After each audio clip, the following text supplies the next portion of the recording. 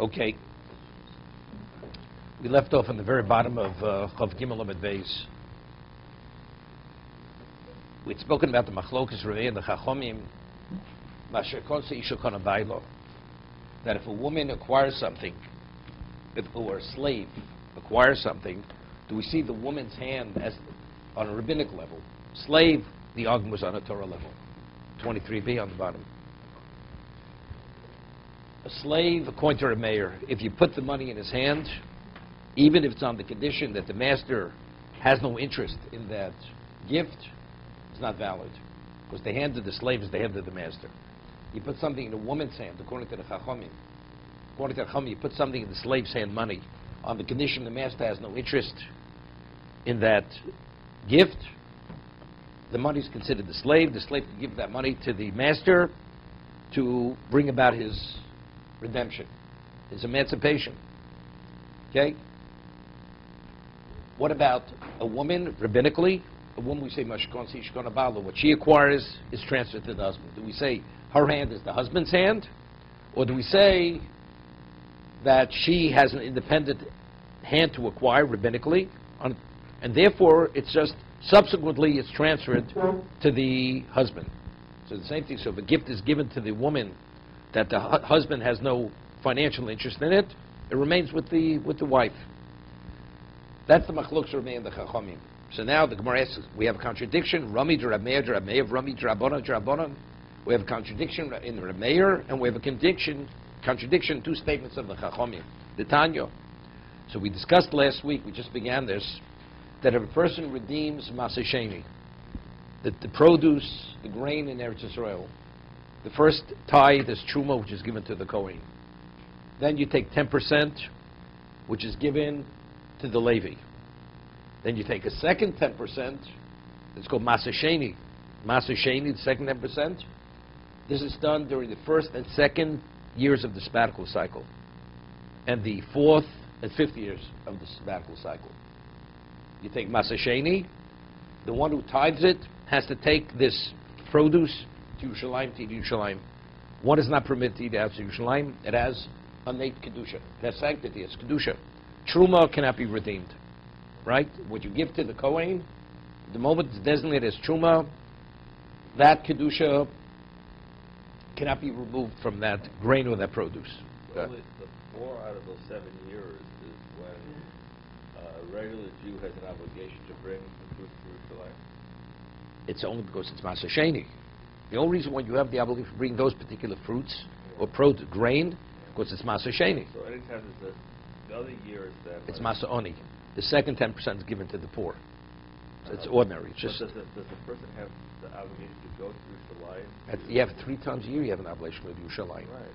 That's at least a regular. That's the bigger korban. Uh-huh. This you're going only, be, Sheni, let's say you're not interested in taking the Masasheni to go to Yerushalayim.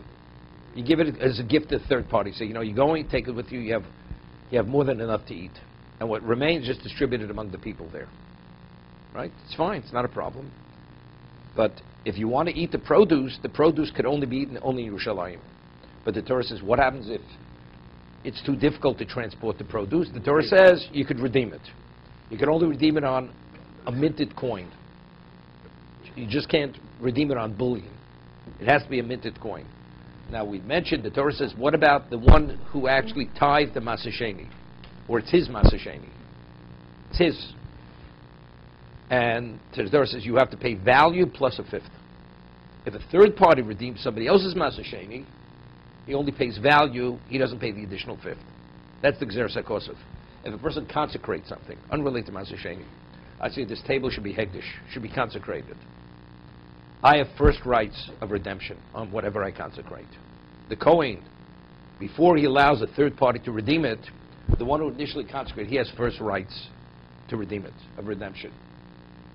If the consecrator redeems it, he has to pay value plus a fifth. A third party consecrates it, redeems it, he just pays value, does not pay the additional fifth. This is all Sakosov. That's what Torah says. Okay, the Tanya. Ein isha podo masasheni beluchomish. Tanakama says when a woman redeems masasheni, she must pay the fifth. There's no such thing as the woman redeeming the masasheni below chomish. Without a chomish.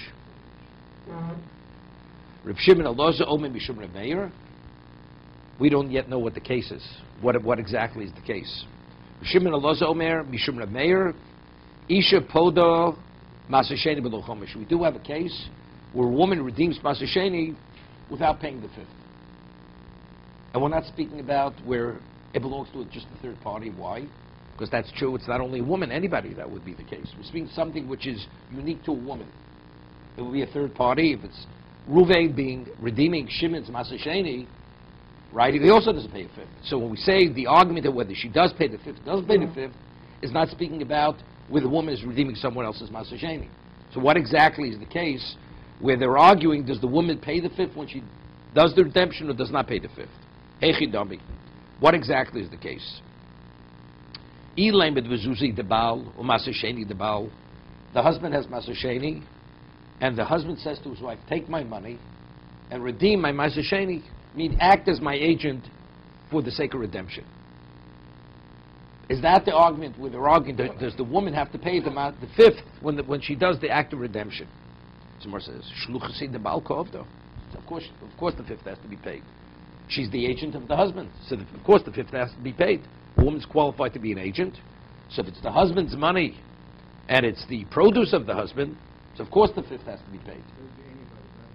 Right? So that, I instead we're trying to figure out what exactly is the case. That would be true with anyone. Ella bezuzi dido umasasheni didei. We're speaking about it's her money, so Rashi says, what's the halacha a woman marries, and then she inherits money. Right? So that's called nichse melug. Nichse melug means the husband has a right to use the money, to use the money, but he cannot use the money where he actually um, consumes the capital. The capital has to remain intact. He has a right only to benefit from the profits of that capital. Okay? So it's speaking where it's her money. Okay? Zuzi dido umasasheni didei. And it's his masasheni. We'll see in a moment. So the reason why she doesn't pay the fifth is because that's the argument. Do you pay the fifth? Don't you pay the fifth? Shemar says, Isha marachmona v'lu isha. The Torah says in terms, of Rashi says, regarding redeeming Masasheni, it says Ishmi Masro. Ish means a, a male. From his Maser, from his 10%, v'lu We look at a woman like a third party. A woman does not pay the fifth. Okay? This is important tosis we have to do. We'll see. We'll, that's, that's, we have to see in a second. See it right now. Is a woman obligated, obligated herself in Maaseh? No, she has to tithe it, but we'll see in a moment. This posuk of Ish means a woman never pays the fifth. A woman never has to pay the fifth. Even if she's a landowner? Even if it's her produce and she tithes it, we'll see. Because no, no, a single woman has a field. They bring in the pro, the harvest. Now she tithes it. She, only she's qualified to tithe it because she owns the harvest. She's obligated to take the second ten percent, but when she redeems it, she does not pay a fifth because it says ish mi masro. Ish is it, the inference is a man and not a woman. We'll, let's, we'll see Tosis. She is obligated in tithe. Correct. Which Tosis has a uh, problem why Ish seems to be should actually absolve her from tithing altogether in, in this particular situation. Tos- Tosis, it's a Sifri. We'll see. Let's take a look. Bottom Tosis. Bottom Tosis, very interesting. Elazuzi dido, umasi dide. So more wanted to say, what are we speaking? It's her money, and it's his maser. It's his maser sheni. It's his produce.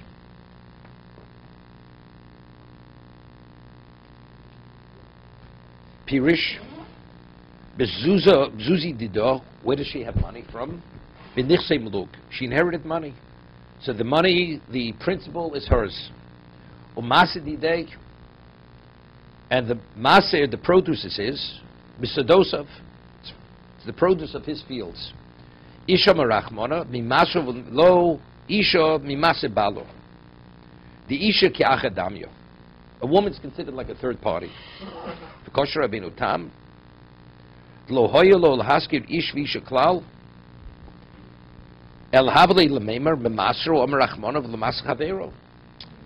The way Rashi is learning, it seems to be the exclusion is what? It's uh, uh, the husband and not the wife of the husband's field. But factually, this, this he's saying she's like acher. But it, it's always that way. When a third party redeems someone else's masasheni, you never pay the fifth. It's a valid redemption, but one doesn't pay the fifth. So what, what is, according to Rashi, why is he saying because it's ish isha, it's a man and not a woman, this is unrelated to the, to the issue that she's a woman. In every situation where it's a third party, a third party is never, never pays the fifth. It's only when it's, the masasheni belongs to the person himself. We'll see. V'nilu Rabbeinu Tam, the Goras Rabbeinu Tam, as a result of this, he has another text. His text reads differently. Bezuzi didor, umasa didor. Not dideg. The, the way Rashi's Girsa reads, it's her money and his produce. The Girsa is, it's her money and her produce. Her produce. V'achi. Isha marachmono, the Mosif Chomish, al masro. Only the male adds the fifth to his own masasheni, below isha.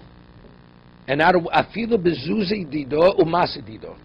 Although the produce is hers and the money is hers, when it, the Torah uses the, the word male, the man, the inference is a man and not a woman. Va'afili almona grusha. Even if she's a widow or she's a divorcee, it's totally hers. A woman does not pay the extra additional fifth. Toras Kahanim, he says, quote, quote Toras Kahanim, Parshas Bahar, Im Gol Yigal Ish Masro, V'Rabbas Isha. It says, if a person goes and redeems his Maser, comes, it says, that comes to include a woman. So it seems to be a woman does pay the fifth. He says, no, Lini Pediya Dafka Marbina on This Isha. It's important.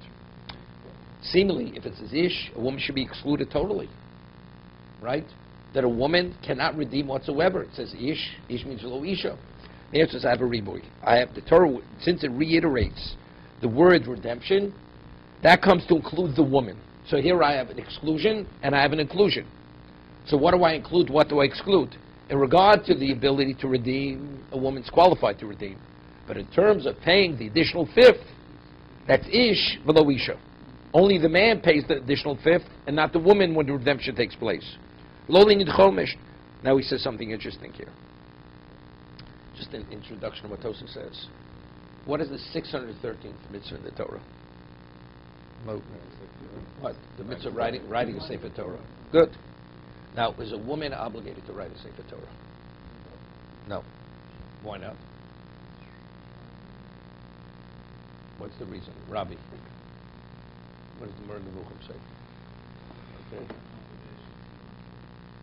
So it it can be because it's it's a, not because it's a mitzvah magrama, right? It's not a mitzvah magrama. You know, there's a there's a tosis. The Gemara in uh, in Kiddushin later, a Chavtes, usually this is a bris Torah. It says that uh, uh, it speaks about the mitzvahs that a father has regarding his son. So the first mitzvah a father has regarding his son is lomal beno, chayiv odam lomal beno father must circumcise his child. Okay? So the Gemara says, what about a mother? Does a mother have an obligation? So the Gemara says, no. The Gemara cites a posuk. It's an inclusion. We say the father and not the mother. It's Gemara Chavtes.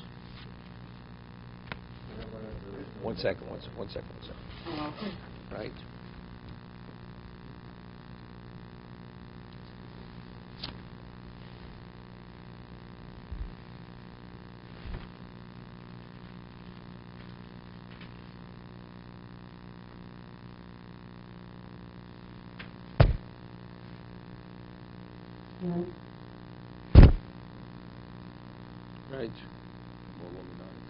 Kashetziva oso lakim.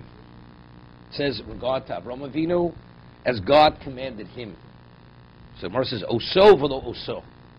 He's commanded, she's not commanded. Therefore, mother does not have an obligation to circumcise her child, only the father. So why is she absolved from circumcising a child? Oso v'lo oso. He and not her. So it seems to be, but if not for the pasuk, what would you say? A woman has an obligation to circum, a mother has an obligation to circumcise a child. I mean, so all the Rishonim explain. Now, what happens if you have a Jew who's not, a child that's not circumcised? Every Jew has an ob- obligation to make sure that child is circumcised, whether it's a man or a woman. That's, that's not gender related. As a Jew, we have an obligation, because it says, Himo lochem kol zocher. Every male Jew has to be circumcised. So if nobody attended to that child's circumcision, it's, a, it's an obligation on the community. The community's responsibility is to make sure that child's circumcised. But as a personal obligation, as a mother regarding her child, she has no obligation. As a father has an obligation to her son. That's the Gemara. So asks, what do we need a pasuk? It's. It's time oriented. We say that whenever you deal with a time oriented mitzvah, the woman is absolved.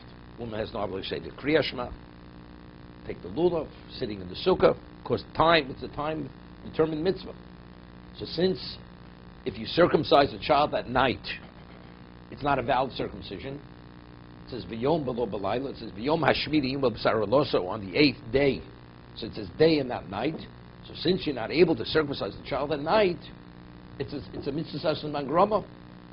So what do we have to cite a pasuk to absolve the woman? It's classified as a mitzvah, which is determined by time. That's Tosas' questions. Tosas answers that the Gemara is going according to the opinion, which we don't rule this way, that a circumcision at night is a valid circumcision. That's Tosas' answer. It's going like Reb Lezer. Reb Lezer's a nighttime circumcision is valid. Okay?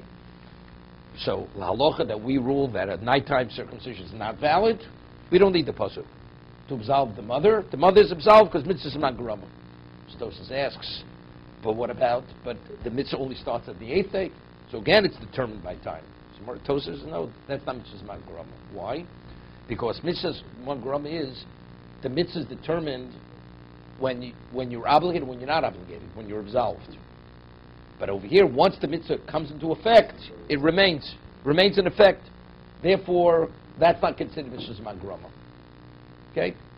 That's Tosa's answer. So, but the first, first answer was, the question is, what is the basis for the question? Since a nightly circumcision is not valid, so therefore it's the mitzvah magrama. So let's understand. So there's a famous question from Shaagas Aryeh, yes, on. Seemingly this has nothing to do with mitzvah magrama. What is the classic case of mitzvah? That a mitzvah is determined by time. Time dictates the obligation.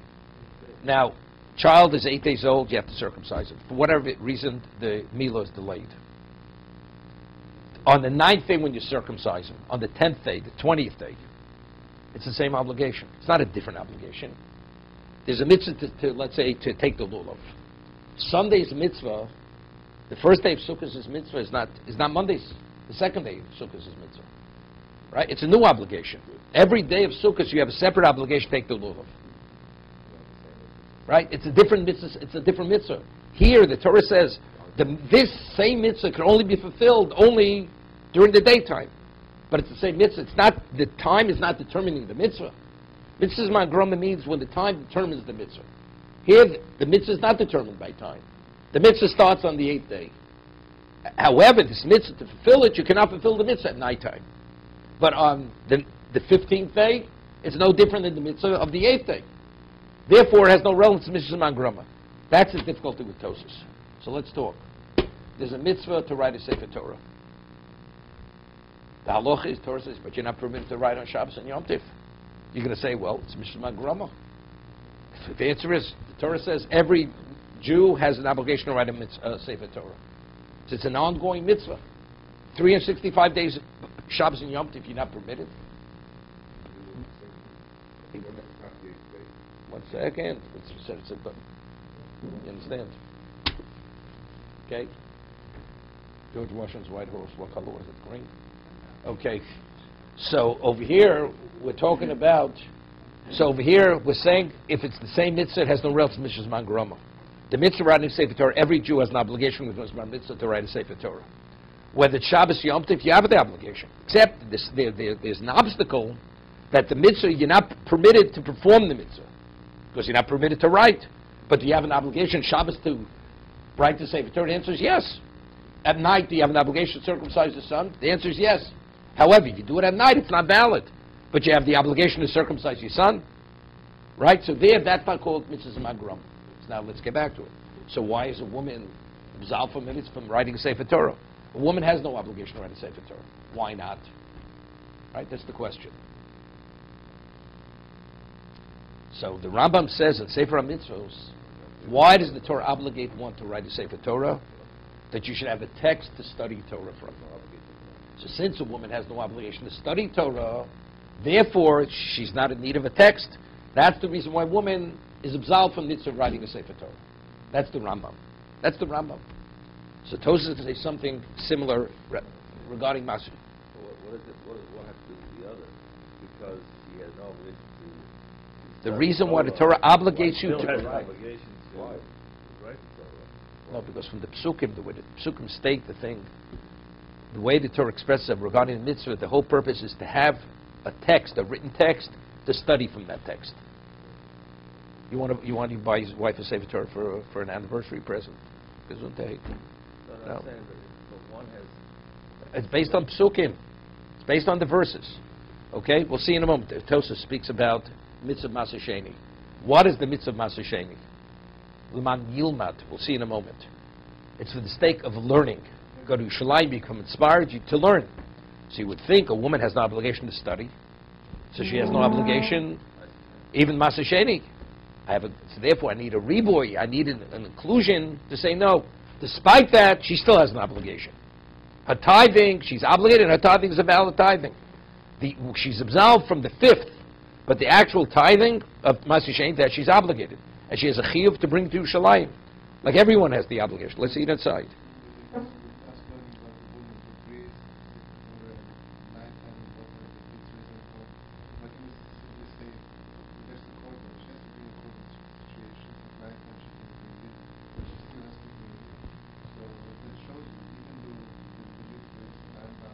None. It's no relevance to none. There's nothing. You have an obligation to korban. If you tell me it's avoda, the avoda is day, not night. Bring the korban has nothing to do with the avoda. That, that's officiating. Officiating only has relevance to the Kohen. A woman's not, not qualified to officiate. Okay, let's see it. Mitzvah says, it's a question Mitzvah says, uh, Mitzvah Baba Avera. That's, that's the whole discussion.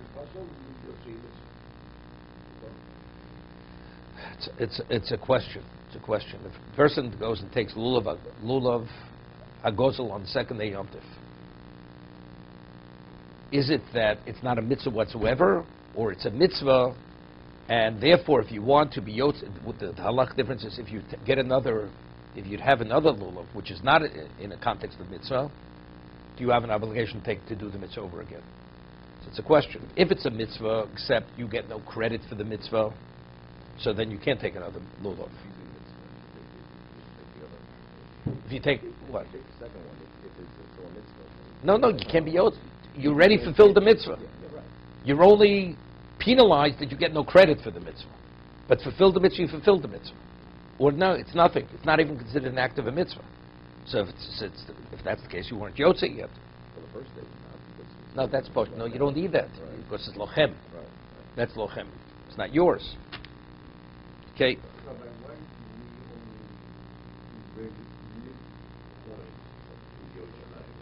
Because the Torah says with vitzarta kesef.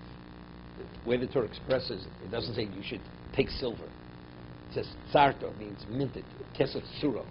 It's it's money that has a form to it. That means it's been minted. No, no, no. There's nothing to do with spending. Kesef tsura. Kesef tsura means minted, minted coins you need. Yeah, but it doesn't qualify for the redemption. Okay, just let's see it inside. It's um, the soka daita. I would have thought maybe a woman is not obligated to take masa whatsoever. Masa sheni, hol ksive b'masir leman tilmad leyiro v'dashina minei free the godel maser. Here, what is the great value of taking masa sheni to Yerushalayim? Shemei with a Talmud. Kesheshoah b'Yushalayim lachilas maser masro. When you remain in Yerushalayim for the period of time to eat the maser sheni, You become inspired, and that inspiration brings to Yerushalayim and, and what follows. That's not a mitzvah. What are you talking about? It's not a mitzvah. Well, why is that a mitzvah? Why is that a, it's, just because you're inspired, that you... No, it says the objective of bringing the Masasheni is to be Liris Hashem Elokecha, and to do his mitzvahs, and do so and so forth. That's, that's the value. Laman Yilmad, to learn how to fear God. That's Limar Torah. I'm going to teach you how to, how to, how to, But a woman doesn't have an obligation to do that, exactly, exactly.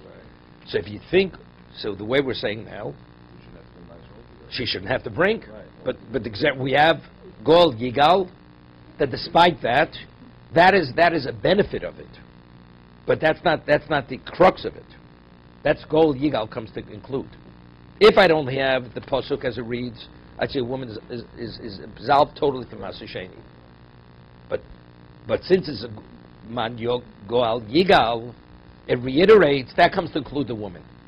Despite the fact that she has no obligation, nevertheless, she has an obligation. Because the pasuk. It's only because of the pasuk. V'hava min isha kaven labas limuri lesser b'dini maser. Right? She has no obligation of maser.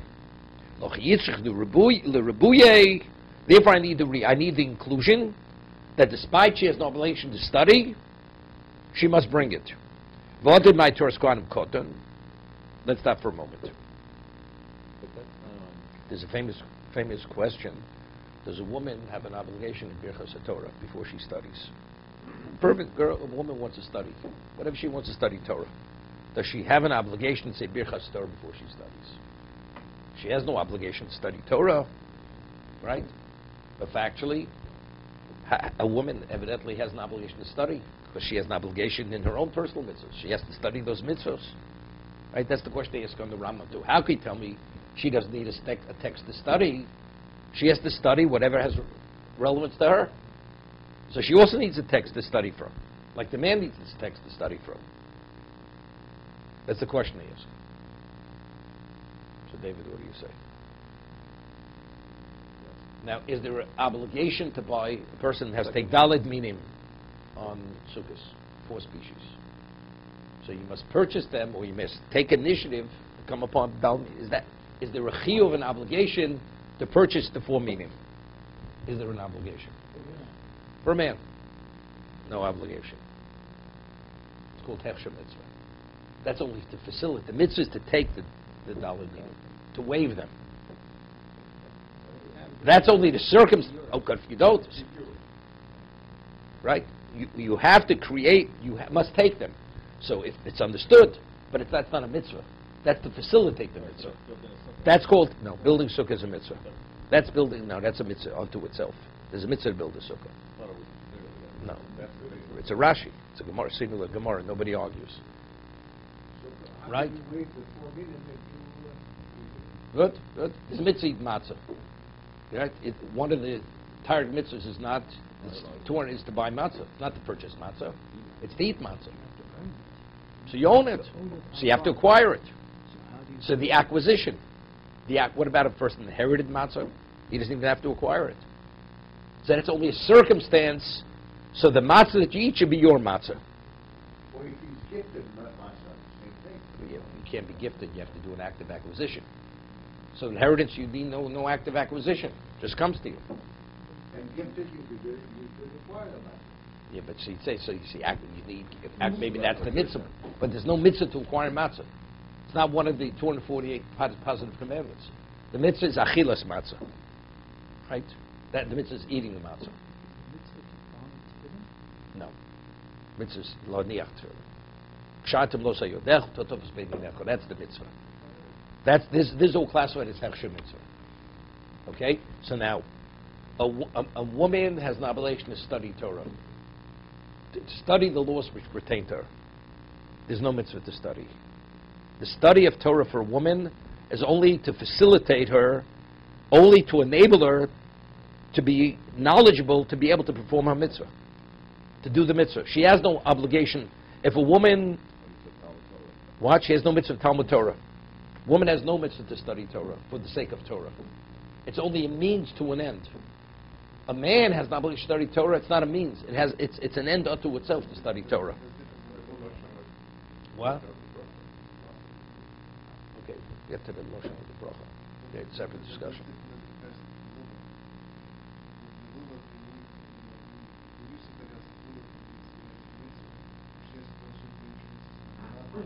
But but what's the purpose of that?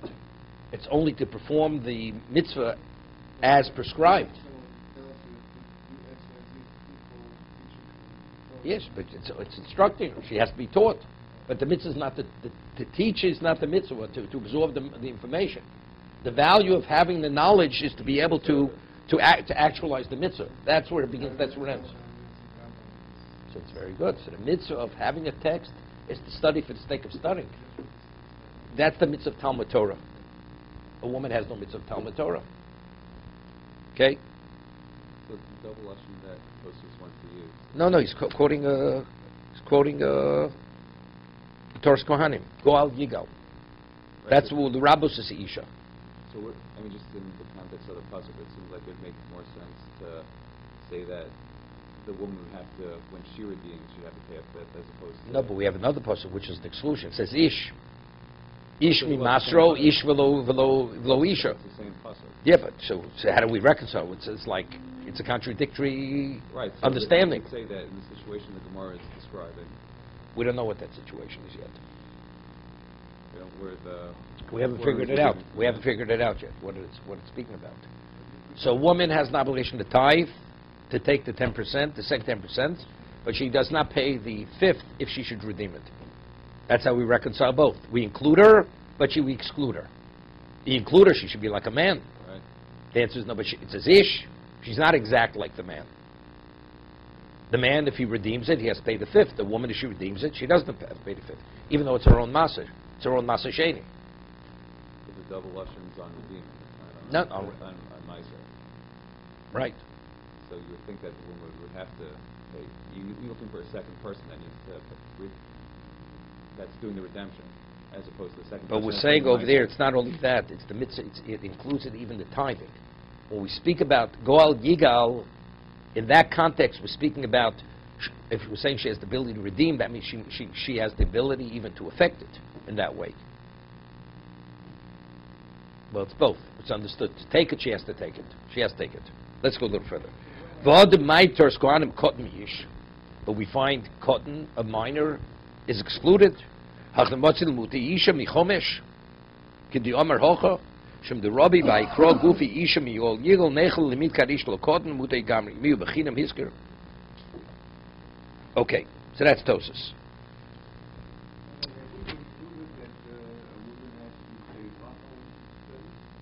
So that's the question. So the smag says that a, a person says bracha even on hechsher mitzvah. Even on hechsher mitzvah, a woman says birchas Torah. Yes. Even though she has no mitzvah to study Torah, where it's an end unto itself, it's only to facilitate her being able to perform the mitzvah. A woman says birchas Torah. Woman, that's that's a separate discussion. Why do you say bracha on a building or something? What about in North Country, there used to be a book especially for women, uh, Then around. Art Scroll has it in English. It's okay. You you say, women say, how, how do you study that? What do you have to talk about Senorano? Anything they study. Going to start and then they say. What? According the, the which they don't make the bracha, you know, Lulav, they make the bracha. So they make the bracha. Not if because mitzvah oh. is mangroma. That's why. The Mechaber rules that a woman should not say mitzvah says is mangroma. Right. Limit Torah is not mitzvah says is mangroma. Right? The mitzvahs are ongoing. Whatever she studies, the, it's to know what she has to, to, to do. She has to keep co-.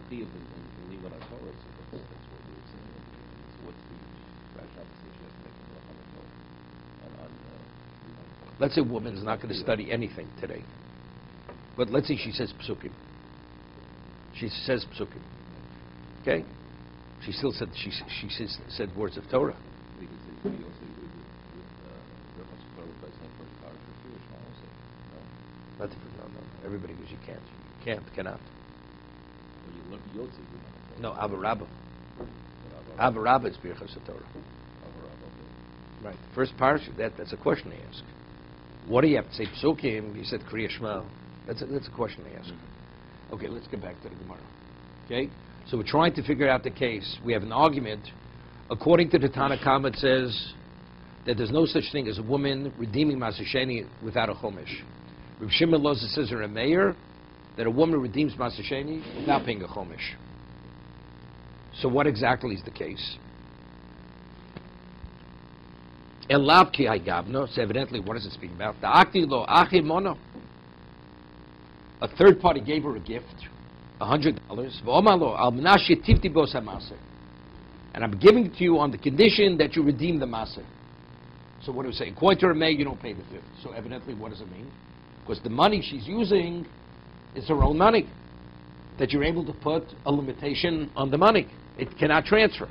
So we see according to Rameir that the woman's hand is not the husband's hand. According to the Tanna Kamma, which is the Chachamim, they say the money does transfer. So if the money does, why does it transfer? But it, there was a limitation put on it. The answer is because he cannot put such a limitation on it. So the money does transfer. So when the woman redeems the master for the husband, she's the equivalent of a shliach. According to the Remeir, Remeir says she's not the shliach.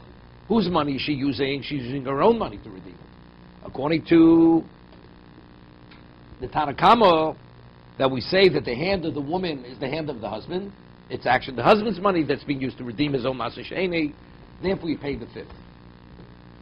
So how do we, so we have a stira. Same argument, but, but the, the, the positions are reverted here. So what is the more answer? No problem. Invert the opinions. They're being stated, they're being quoted incorrectly. We'll have to continue.